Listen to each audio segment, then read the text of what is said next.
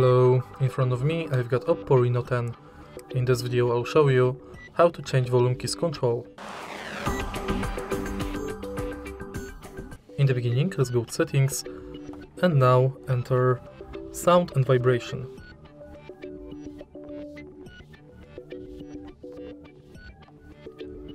Enter more, go to volume button function and select between media and ringtone.